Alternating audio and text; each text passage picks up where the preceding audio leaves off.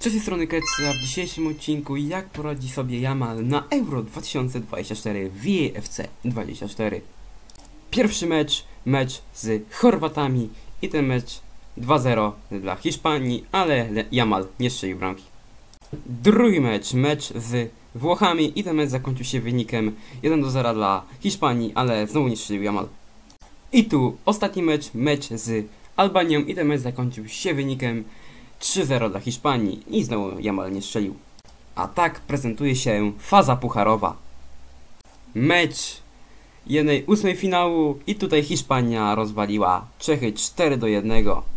Mecz ćwierćfinałowy z Serbami i tutaj 3 do 0.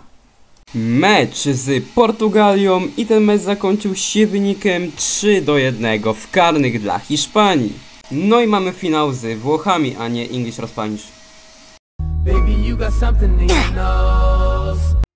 I mecz zakończył się wynikiem 2 do 1 dla Włochów. Włosi wygrali w finale. No i tak prezentują się statystyki Lamia, Lamina Jamala. Średnia 6-5, no tutaj, no słabo mu poszło. A więc to dzisiaj byłoby na wszystko. No i cześć. Yo!